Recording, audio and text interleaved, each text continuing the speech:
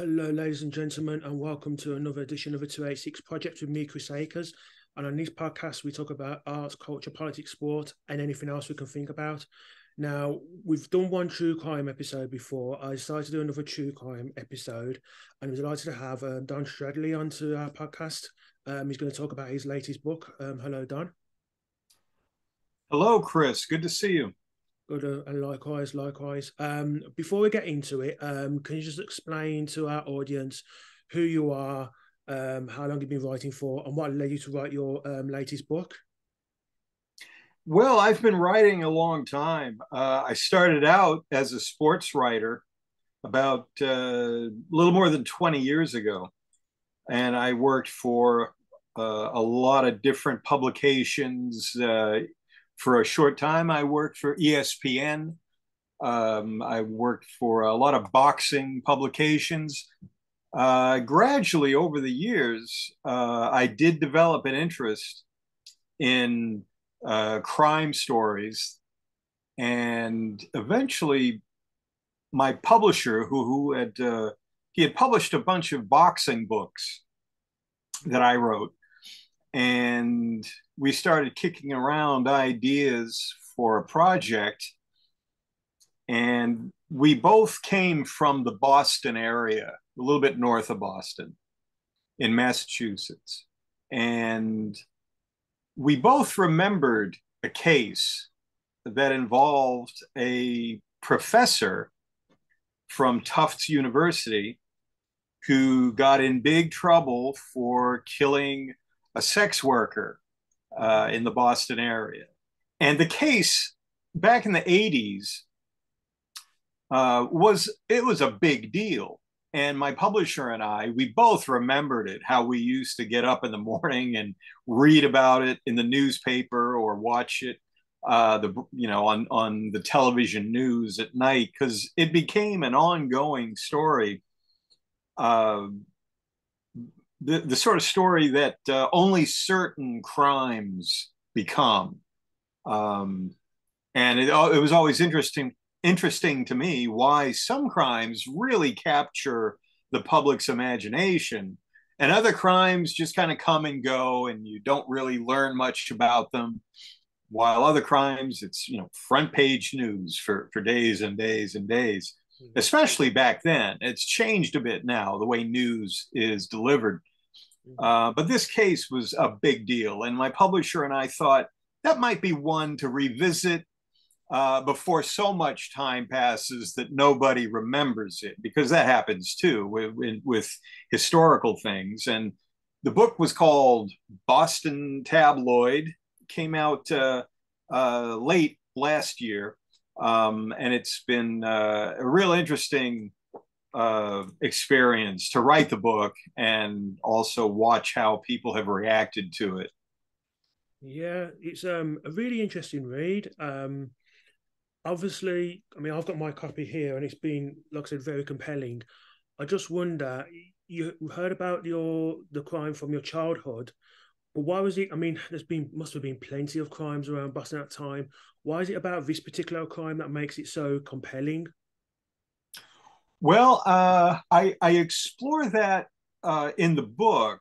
Um, also, you know, trying to understand why some crimes just, you know, like a hit song, it gets to the top of the charts and it just stays there forever, you know. And other good songs come and go; you forget them. Uh, I think there were a couple of reasons for this particular case to catch on. One was that it was a professor, a man named William Douglas, and he was a highly esteemed professor at uh, Tufts University, the medical school. He was renowned. He was uh, well known across Europe. He was involved in a lot of uh, uh biological experiments, working with tissue cultures and uh, working with infant illnesses. And he was uh, a well known, highly regarded professor, very esteemed in his field. But he had a secret life where he liked hanging out in the dirtiest of neighborhoods and uh, uh, picking up prostitutes. Um, and he became obsessed with this one particular sex worker, a woman named Robin Benedict. Uh, and he, he eventually uh, murdered her and hid the body. And no one ever found the body. Um, so there was that element of this well regarded man living this secret life. And, and that's always uh, a, a newsmaker, you know, when when someone is uh, brought low, you know, these these people of high status are are brought low. People love to read that they they have this criminal side, you know. Um, and ironically, the uh, the young woman that that he murdered, she also had a double life. Uh, she had been uh, an art student um, living a, a very clean cut life, or so everybody thought. But she was living a second life as a prostitute. So you had two people living secret lives. And that created uh, really like a TV movie kind, kind of an element, you know. Um, and so th- those were the uh, two big reasons why it became such a, a sensation. Uh, and it also it took place in an area of Boston that no longer exists. Uh, it was uh, a series of streets and neighborhoods that was referred to as the combat zone, and it was uh, it was an area where the prostitutes worked and the drug dealers worked, and a lot of uh, criminal activity went on. And the state had actually designated this area saying if you want to do this kind of activity, you want to sell pornographic material, this is where you can do it. So it was kind of an experiment that backfired.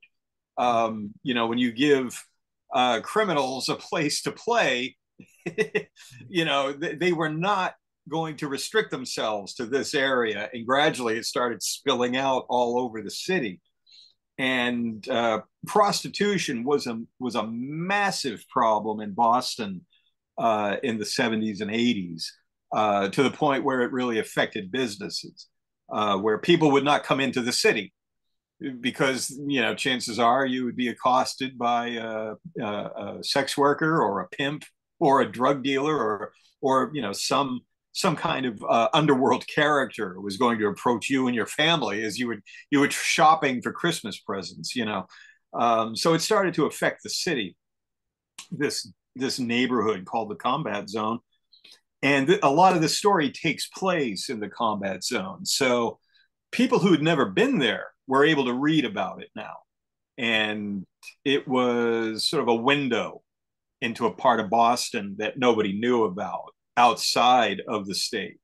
And what was interesting to me was interviewing uh, journalists who had come into the city from out of state people from florida people from uh, out on the West Coast, people from New York. Reporters were coming in to cover the story, and they would tell me, they would say, you know, I've been to Times Square in New York. I've, I've been to the worst parts of Miami. I've never seen anything like the combat zone. You know, they would tell me that. So that gives you an idea of how rough this area was. And that's where this this mild mannered professor would spend his evenings, you know, so yeah, there there were a bunch of elements that combined to to make the story uh, really quite memorable uh, in, in in the '80s. Uh, anybody who was around at the time remembered it, you know, uh, and of course anybody who was too young and not around at that time, it means nothing to them. You know, they they don't remember it at all. You know, so that was interesting too. That you know, once the window closes on uh, an event, on a part of history, it, it doesn't really stay in, in the uh, you know the mass consciousness you know. So I that's another reason I wanted to revisit you know just to get, remind people hey this big crime happened and it was a big deal. And if you don't remember it here it is. Yeah um, just going back a minute to the two protagonists so you had William Douglas reading about him. Yes he was married he had children but from a young age he seemed to be very socially awkward. And as though he picked his wife to almost reflect that awkwardness socially. Would that be an accurate description of him? Yeah, yeah, you bring up a good point. He he uh, he was awkward. He he was uh, almost almost a cliche. He was the sort of lonely, overweight kid, you know, growing up very isolated. Uh, he lived in upstate New York for most of his childhood, um, and not, and he was not a particularly bright kid either. He, he, you know, was certainly not the star of his class. And it wasn't until he discovered science when he was well into his teens, mm-hmm. suddenly he had, you know, he he he had some power now. He he had something that he could latch onto, and it gave him maybe not a personality. I don't think he ever had a personality, yeah. but it gave him an edge, gave him a little bit of, uh, you know, what what the kids would say, swagger. It gave him some swagger now. You know, uh, he became a top scientist, and he did marry a woman who was uh, she was a nurse. She was very meek I think uh, she catered to him in a lot of ways because he had become this kind of academic superstar and and a star in the world of, of uh, science. She was, uh, you know, very complimentary. A guy like him needed a, a woman like her. You know, that was definitely uh, part of the chemistry.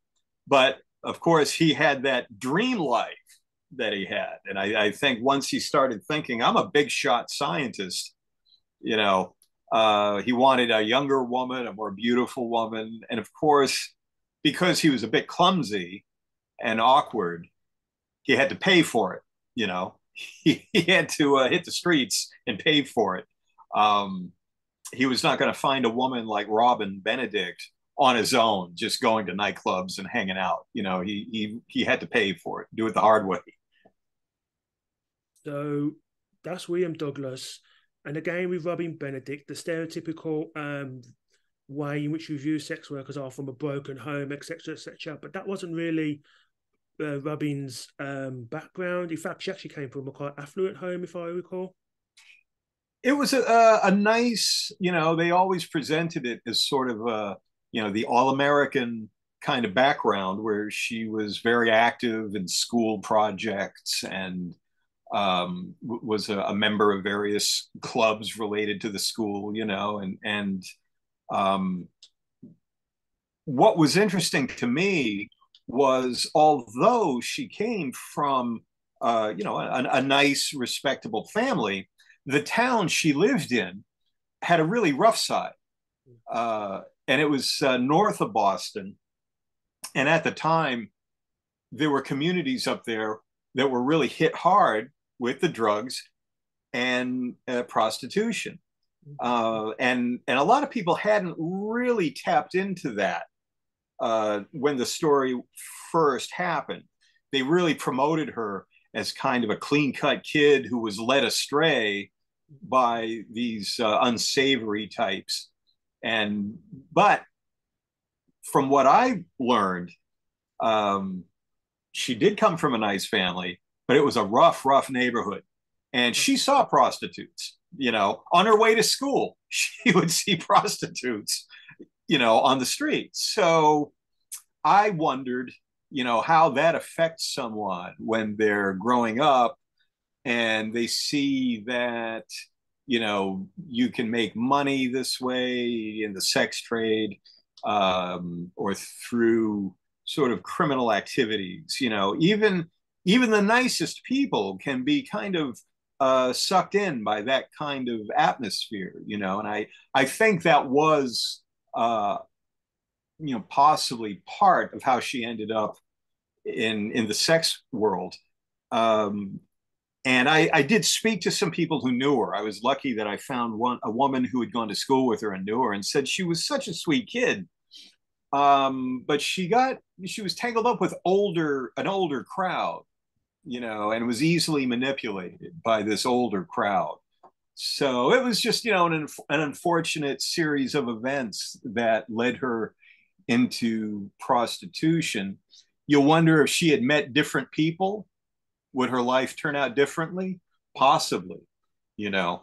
Um, a, a lot of life is uh, luck, either good or bad.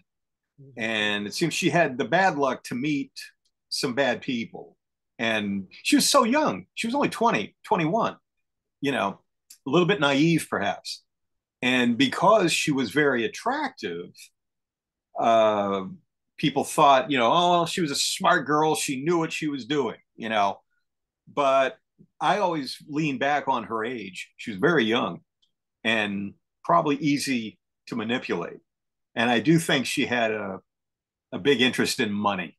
I think that was um, a big issue too. I think, you know, she liked the money. She wanted to make a lot of money fast. And in this professor, she saw an easy target. Yeah. Um, just before we get to the meeting between um, Robin and uh, William, obviously she had a pimp who was JB. So can you just explain um, a little bit about JB and also how did those um, JB and Robin meet? And weren't they engaged to be married before? Uh, yeah, she met this fellow, um, uh, Jr. Uh, the, yeah, yeah. His his nickname was Junior, and he was sort of a, a small time pimp who had maybe one or two ladies working for him, and and his whole his whole method of operation was to find one girl rather than have a you know a big stable of girls as as pimps uh, used to do and probably still do he liked to get just one girl and kind of have her be a the money maker, you know. And when he met Robin, he thought, okay, here's another money maker. So he would move out the girl that he was currently using and and bring in Robin. Um, and they met in a strange way. Uh, she was actually dating a, a professional uh, football player uh, from the New England Patriots. Um, now nowadays, the Patriots are a huge, huge uh, entity, you know. But back then, the the Patriots were kind of a, a scrappy little team. They they had not discovered the Super Bowl yet. You know, they were not they were not superstars back then. And the Patriots actually came to her high school for a function. You could never get them to do that now. Yeah. but you know, uh, 40 years ago, the, the Patriots came to her high school and she ended up befriending one of the players and moving in with him which shows you that she had uh, you know her eye on the prize you know she was um, focused you know and she saw she, she she looked she was always looking for a way out of her station you know and she saw this football player and thought okay here's my way out so she latched on to him and where football players are, or professional athletes, you will often find drug dealers and pimps, you know, and escorts and sex workers. You'll find a lot of that on the fringe, uh, wherever the athletes are. And uh, um, it was through her connections with this uh, football player where she was at a party and that was when this pimp, Junior, uh, first saw her and wanted to meet her. And, and she eventually broke up with the football player and ended up with this pimp. And the details are a little bit shady. No one knows the exact moment where she agreed to become a prostitute.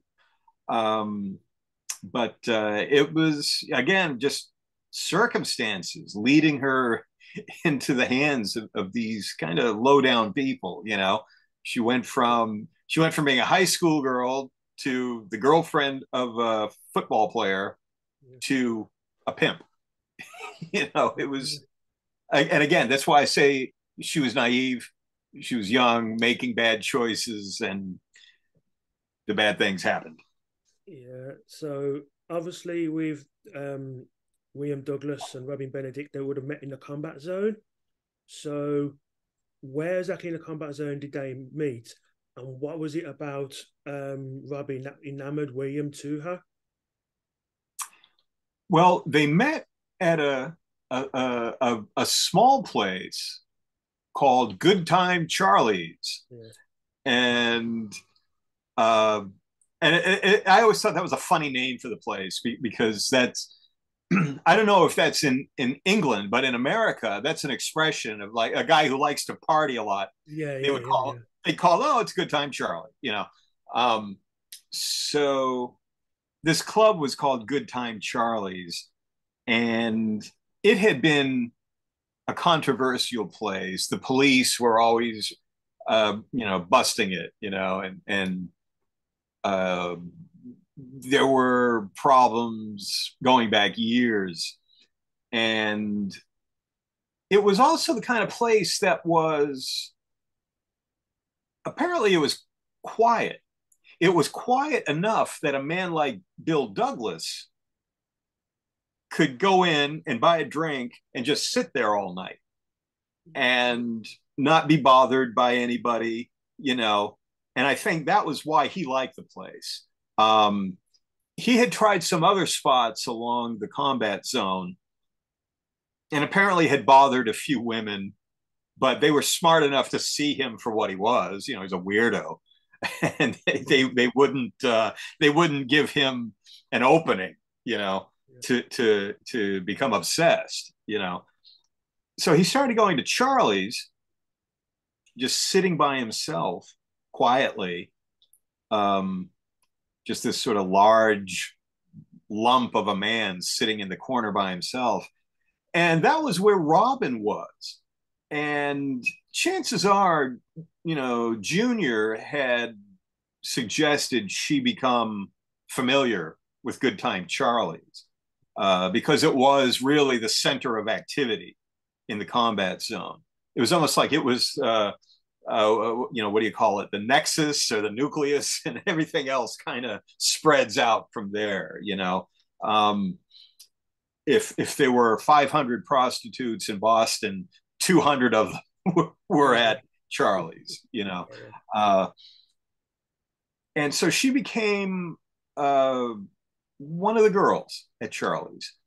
And, you know, she was probably friendly to Douglas. You know, that was part of her methodology was um, to be friendly, be friendly to the older guys, you know, because she he was old enough to be her father. Um, and there is a certain type of sex worker who, you know, works the older guys, you know, because uh, they have a little money and they're probably a little less, uh, you know, rough. Uh, the younger guys might get drunk and a little hostile and violent. The older guys are a little more mellow and they have a little money. So there were certain sex workers who focused on the older guys, you know. And uh, from what I found out, and I mentioned this in the book, um, the first few times they they met, you know, she would talk to him for a while and then have one of her friends come in and close the deal. Yeah, you know, uh, it was almost like she put him through a test, you know, and when her friends would come back and say, yeah, he's okay. You know, it's just, uh, you know, this middle-aged professor who likes a little action on the side, you know, then Robin decided, okay, now I'm going to, you know, I'm going to move in now. So she kind of let the other girls test him out in a way. So she was cagey in her own way. You know, she was naive, but she was cagey. Um, and she may have learned that from Junior. You never know. Um, and yeah, so that was how it started. Just, you know, some friendly conversations. And, you know, she probably told him the story about, you know, I'm really an art student. I'm not really a sex worker, you know, I'm only doing this for a little while, you know, that whole thing, you know, and and he took almost a fatherly interest at first, you know, he would he became so uh, uh, involved with her. He started doing her taxes. He started, uh, you know, taking care of like little business things for her. He had business cards made up. You know, uh, it was it was um, it was a weird relationship. It was not entirely sexual, which is another strange thing that you know he liked prostitutes for the obvious reasons but when he became obsessed with her it became less about sex and more about him wanting to kind of rescue her, maybe, you know, get her off the streets. Maybe, you know, I think he maybe had fantasies of helping her, you know, find a job and becoming a, you know, a respectable member of the community. I think that was in the back of his mind. Um, and from what I've read, you know, psychological reports of, of other people who become uh, obsessed with with sex workers, they do have that interest in, you know, rescuing the fallen woman. That that's that's a big part of the uh, fantasy that a lot of guys have, and I and I think Will Douglas had it too. So you talk about this fantasy he has of wanting to rescue her and put her in a job, and in a kind of way, he actually did that because not only was he giving her money, his own money, but he was actually putting her on retainer as part of expenses at the university as well how did that come about? Because surely didn't someone notice thinking, hang on, who is this person being classed as a lab assistant in the in um, university? Oh yeah, he he was uh, you know embezzling, you know, from the school. He put her on the payroll as his assistant, mm-hmm. you know, and because she was an art student, he would say, "She's doing illustrations for me. I'm I'm preparing a book." about some study he was doing and she's doing illustrations you know and he had her, like you said, he had her on a retainer on the school payroll. And eventually, uh, the, the I guess the school's accounting department began looking into this. Just at the end of the year, they look at everybody's expenses. Yeah, yeah. you know, and when they looked at his, they saw this woman, Robin Benedict, who they had never met. Uh, but apparently she was doing a lot of work and making a lot of money. So they they called him out. They they said, "Who is this Robin Benedict? You know, we need to meet her." And that was when the story started to crumble. You know, he he started to panic because simultaneously when this was going on, she was losing interest in him. So he had both things to deal with. The school was starting to investigate him, and she was losing interest in him. He had become too obsessive. And he was also running out of money. So she was losing interest in him for that reason too. Mm-hmm. She she would put up with the obsession as long as the money was coming in. Well, indeed, and also people were the other um, ladies were jealous. Is that correct? Of Robin because she was getting all this money from this, not only all this money, but her attitude started to change, almost like I'm the top person in this joint. Yeah, exactly. A lot of the a lot of the other uh, sex workers in that neighborhood, they didn't have nice things to say about Robin. Um, you know, they thought she was a bit arrogant, and uh, you know, she was um, a bit pushy, and like you said, you know, acting like she was the uh, the queen at Good Time Charlie's. You know, and a lot of those other, other women, they'd been there a couple of years longer and they didn't like the idea that this young kid was, you know, acting like such a, you know, big shot. And she was also very brazen, you know, she, be, she became really good at working the, uh, the customers. Um, and like if, if you were a girl and you were talking to a potential client in the bar, Robin could just come along and take the guy away with just a little nod of her head, a wink of the eye. She became that confident and cocky. And the other girls started to uh, not like that aspect either, you know. So yeah, she was um, getting a bit a bit big for herself, you know. So as you said uh, a few minutes ago, the relationship has developed, but then Robin Steiner gets sick of the professor and the professor started realizing this, so he started doing some weird things, such as call. She'll get phone calls from police and saying, "Oh, we're going to search your house," and you wonder where the phone call comes from. And he actually came from him, and he's watching around the corner. So he started doing weird things like that. Is that correct? Yeah, he would. uh He became jealous of her, and if he knew she was with another guy that night, he would call the police and have her busted. he would call the police and, and say, yeah, there's this prostitute named Robin Benedict. She's, you know, she's with a guy up up in her apartment. You know, she's a prostitute. and uh, she he had her arrested probably numerous times. Um, but the strange thing was that she could always work her way out of it, you know. Um, so I, I've talked to, you know, the few policemen who are still alive because this case happened a long time ago. A lot of the people I wanted to talk to have passed away. But some of the policemen who are still alive, they think she may have had some kind of deal going with the police as well, where you know they would never really arrest her. You know, they would they would bring her in to the station, but uh, they might take her photograph, but they always let her off with a warning. You know, and this was a girl who usually had cocaine in her purse. This was a girl who was, uh, you know, made she did not hide the fact that she was a prostitute.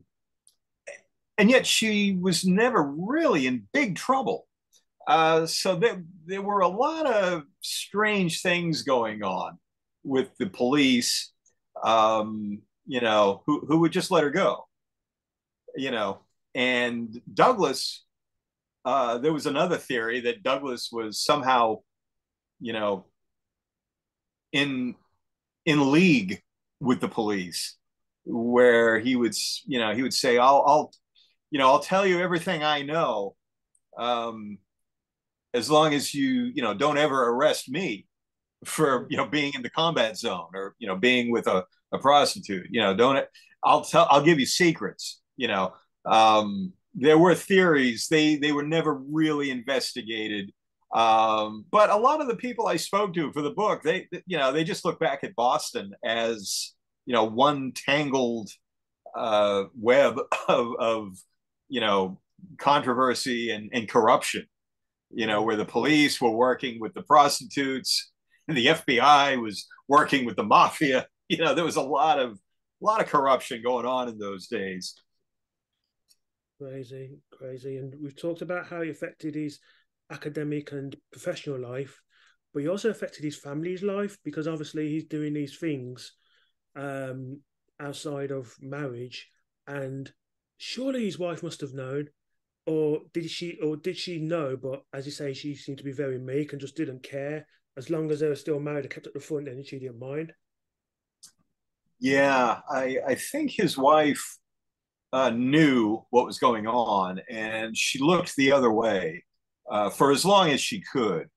Uh, I, I, think uh, at, at, some point she did start to to break, and and I think she did eventually say, you know, you've got to stop. And and some people have said there were there were cases where he did stop for a while. Um, but I, as I looked into the book, I didn't believe it. I don't think he ever quite stopped. Um, I think he just got better at keeping it a secret. Mm-hmm. You know, like he would tell his wife, "Okay, honey, we'll work things out." You know, but I, I don't think he ever stopped uh, obsessing over Robin or prostitutes in general. Um, he he when when she didn't want to see him anymore, he just you know started seeing other prostitutes. You know, um, so it did affect his personal life. Um, or and his his professional life too. At school, he was uh, looking bad, looking unhealthy.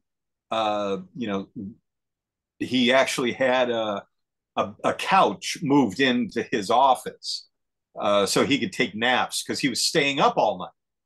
You know, with Robin, the two of them starting cocaine all night. You know, um, so he would have a he bought a couch and put it in his office so he could take naps during the day. Uh, so his his work life was suffering, his uh, married life was suffering. Uh, a lot of problems when you're, uh, you know, stuck in the combat zone, and, and it seems no way out. So, obviously now something's happened and she goes missing. Who actually reported her missing, and just summarize what the police investigation was like in regards to finding her? Well, she disappeared. Yeah. Suddenly, no one saw Robin Benedict. And it was her pimp who came to the police and said he said, "Well, my girlfriend is missing." Yeah. That that's how he put it, you know. And you know, it, it didn't take it didn't take the police long to figure out that he was a pimp and Robin was a prostitute and she was missing. So they weren't too concerned at first. They just assumed, well, prostitute left her pimp. You know, we're, we're not going to work too hard to solve this one. You know, the prostitute probably just left, you know, went out of state, didn't want to deal with this guy anymore, you know. Um, but simultaneously with that, uh, a couple of men were on the highway going through uh, garbage dumpsters. Um, uh, I think in England they call them bins. Yeah, yeah, yeah, yeah. Yeah, uh, those big metal. We we call them dumpsters. Uh, some back then it was a new thing where if uh, you could find enough bottles, you could cash them in yeah. Uh, at you know a little bit of money. And but if you found enough, you you could uh, you know have enough to buy uh, some beer and, and cigarettes and and and uh, you know have a good time for the weekend. It was a new bill that had recently been passed uh, in Massachusetts called the Bottle Bill. Um, so it was not uncommon to see men early in the morning digging through dumpsters and trash cans, uh, trying to find empty bottles. There were a couple of guys on the highway going through a bin, and they found a hammer covered in blood and some bloody clothing wrapped around it. So they, one of the guys thought we should call the police about this. This doesn't look right. So word got out that a bloody hammer had been found in a bin on the highway, and it sounded suspicious. So it was a Sunday morning, not much going on. So a couple of state troopers were sent out to take a look at this bloody hammer. So they brought it in as evidence, and they kept that bloody hammer in a, in a, in a you know plastic bag for for a few days. You know, not sure what it meant and eventually they were able to trace it to Douglas. It was a hammer that belonged to his father in law. Um, and apparently he had borrowed it. He borrowed it to do some work in the house. Now it was covered in blood. And uh, that became a big part of the story. Uh, this this hammer. Um, the pimp gave Douglas's name to the police and said the last client that Robin was going to see was this man, William Douglas, who lived out in the suburbs at the time. She was making a personal visit, you know, and he said, You got to investigate this guy, Douglas. So that's that's what led the police to Douglas, and and uh, they raided his home which is a, another story in itself. Just the the raid on Douglas's home, you know, um, and that was that sort of begins the the second half of the story of just you know uh, the police investigating Douglas very, became just more and more more and more complex, more more and more dirt to dig through.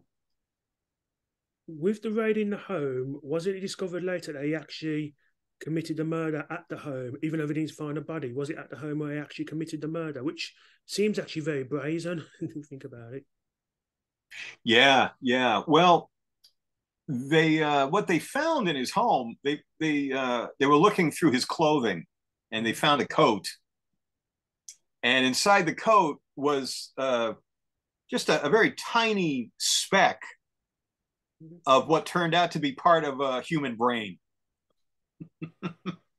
okay and they they uh, they took it to a laboratory and they eventually asked him you know there's a piece of a human brain in your pocket you know how how do you explain that you know um, so just that little bit of a brain became uh, you know a major piece of evidence uh, to to eventually uh, uh, put him before the grand jury and indict him for murder. A little tiny speck of brain. That's horrible. So they've suspected him. They still ha- at this point they still haven't found a body. That's correct. They haven't found a body at all. No, he uh, he did a good job of hiding it, and it was uh, gruesome. It was a grim, you know, very grim story, um, and sad in a lot of ways too, be- because they never did find what happened to Robin. He told a story. He gave his confession. Um, but uh, I, as I put it in the book, the story that we know is the story that he told, not necessarily the truth. And he never he never told the story under oath. He gave this confession in a back room. you know, he didn't give it in court. Um, and to me, obviously, it was a story that he concocted with his attorneys. Mm-hmm. And his attorney was quite a character, too. Uh, a guy named Thomas Troy. Um, this this confession, you know, he. I don't want to give too much of it away. I want to save some of it for you know if anyone wants to buy the book and, and read it. But you know, he made this confession that she attacked him. She had the hammer she attacked him, yeah. demanding money, demanding payment. She was greedy and hostile, and she attacked him. And he, in self defense, he took the hammer away and, and hit her, you know. So he made up this story to make it sound like she was the villain, you know. And it seems a lot of people believed it. A lot of people believed it because at the time, you know, now with the Me Too movement and all of that kind of uh, publicity that's in the air over the Me Too movement, uh, I, I don't know if he would have gotten away with that sort of confession. Oh, she attacked me. you know, it was all her fault. That's why I beat her brains in. yeah, yeah, seems a very a stretch, and it seemed to be a stretch for the jury as well because they found him guilty. He went to prison, but ironically, he actually kind of turned his life around in prison, especially in terms of helping other people. Would that be accurate to say? Well, he uh, took advantage of the good behavior uh, benefits of prison, where they sentenced him. He was sentenced um, and he he didn't go before a jury. He he did a plea bargain where he said, "I'll confess, and I'll show you where the body is. If you don't charge me with murder, instead make it manslaughter, which was a lesser penalty." You know, uh, and he's you know she attacked me. I defended myself, so it's manslaughter. It wasn't murder. You know. Um, and all the lawyers agreed and the family agreed uh, robin's family agreed because they thought they were going to find the body yeah. they never did they never found the body you know he he would take them to where he thought he left the body and you know it was in a dump and and uh, you know it was impossible to find uh, i think they could have found it but everybody seemed to back off the investigators backed off, the lawyers backed off, the search backed off. I think, and I say this in the book, I, I think they backed off a bit easily. Um, because other bodies have been found in dumps. You know, it's this wouldn't be the first time people searched in a dump.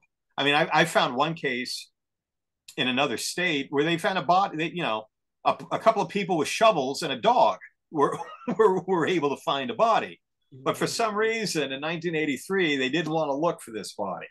Maybe because she was a prostitute, maybe because they just wanted to end the case, mm-hmm. get it over with, get it off the books. Um, but he went to prison and took advantage of the good behavior uh, benefits where they would, you know, chop off time every time he, you know, took a class or taught a class or you know, did, did something nice for somebody in prison. Uh, he was really, you know, working the system. He was a smart man. He was working the system, and he uh, got out of prison in about half the time. He only served about half of his sentence, and that outraged a lot of people. Um, and it actually ended up changing laws. Uh, new laws were were brought in to make sure that if, if you were sentenced to 20 years, you did 20 years. You know, you you couldn't just, you know, help create a mural for the prison kitchen and and and knock off a year of your sentence. You know, um, if you if you were sentenced to 20, you did 20. That became a law in Massachusetts and other states too had already been doing it. But Massachusetts uh, was still relying heavily on good behavior. Um, there are always ways around things. If smart, smarter people can always find a loophole somewhere, you know. Uh, and he worked the system. Um, you know, I I almost found myself. I don't want to say I admired him, but I thought, man, he's you know people thought he was just going to die in prison, you know, um, because he was this sort of soft old professor. He ended up doing well. He he was, you know, not uh, nobody was pushing him around in prison. You know, he kind of found a way to make himself, uh, you know, I don't want to say he was like a top dog, you know, surviving, but he survived. He he knew how to do it. He knew how to get by what happened to his wife after he went to prison? Was there anything that you found out about that? Well, she divorced him. She tried to. She stayed with him for a while uh, after he was in prison, but eventually uh, they split. Yeah, and he ended up marrying another woman. You know, murderers can always find a woman. It seems. crazy, crazy. Um, and finally, well, very quickly, um, without revealing the ending of the book, in a way, he like a lot of people forgot about the crimes, as you said at the beginning, and he ironically actually forgot about what actually happened. Correct. It, you know, that that's uh, it, it's interesting that uh, he he started uh, coming down with um, you know mental illnesses as as he got older uh, so he, he didn't really enjoy a lengthy uh, time out of prison.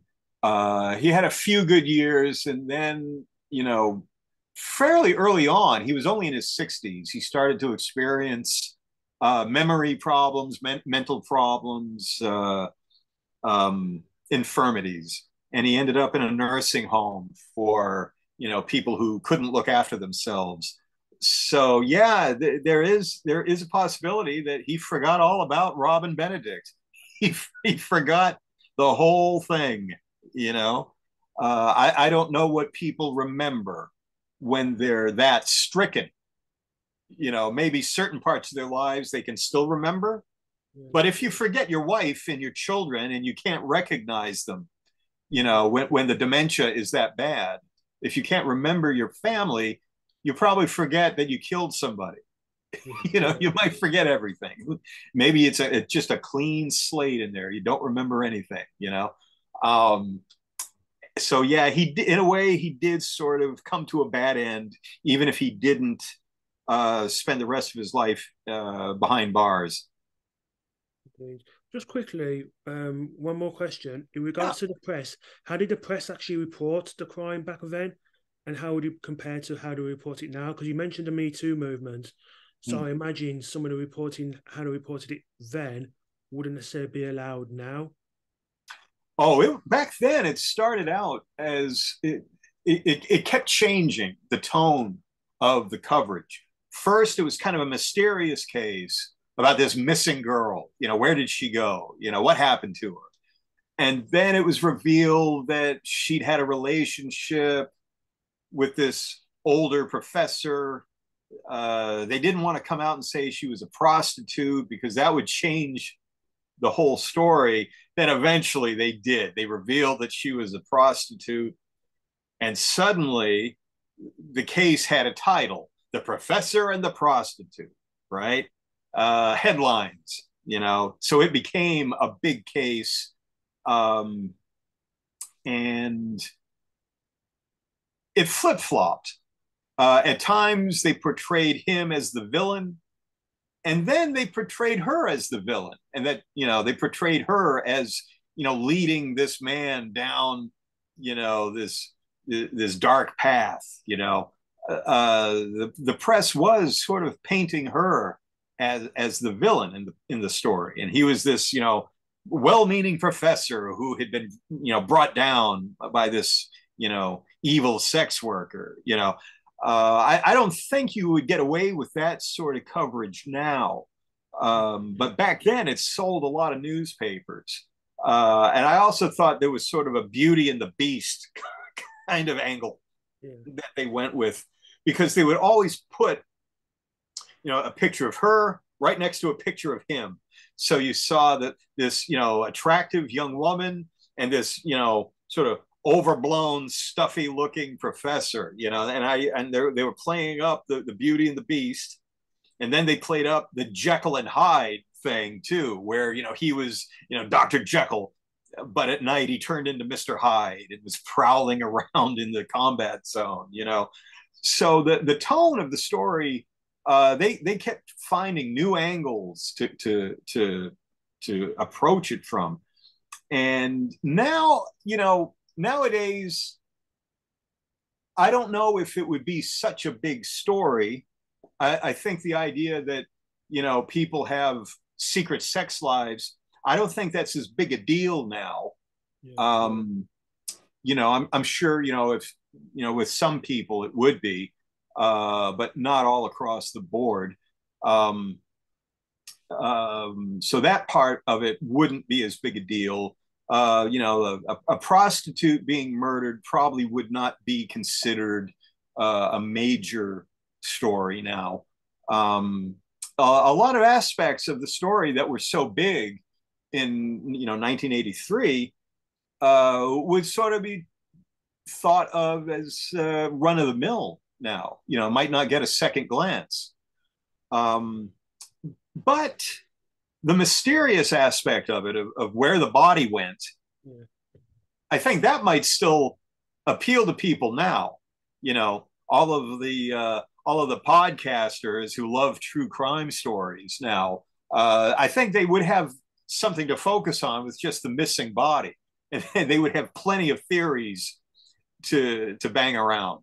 Yeah. So I think in that respect, that part of the story would, would still be big now. A missing body is always big, right?